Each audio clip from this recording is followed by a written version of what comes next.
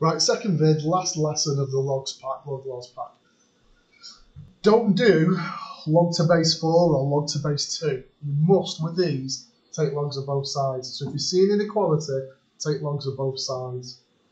So I'm going to, can do log or ln. It's quicker to write ln, so I'm going to do ln of 4 to the x is greater than ln of 1001.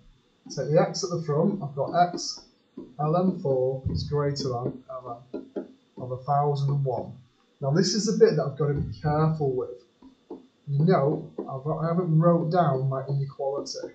I need to think about what I'm dividing through by. The log graph looks like that.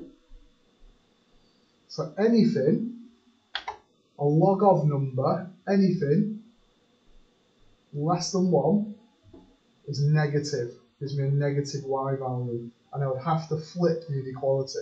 In this case, I don't, but just be careful, like if you look on the next one, you do.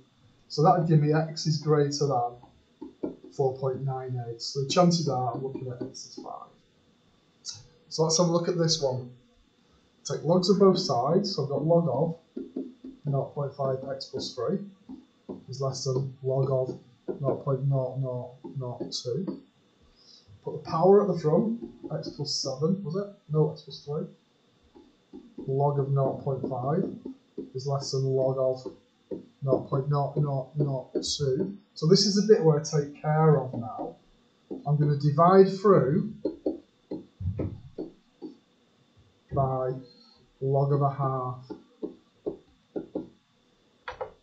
That log of a half from my log graph, draw it again, there's one, log of a half is negative. So if I'm dividing through by a negative, I must flip that inequality. So that's really, really careful there, that flip. Whoops, flip, inequality. Then I'll take the 3 away, so I've got log of 0.0002, log of a half, minus 3.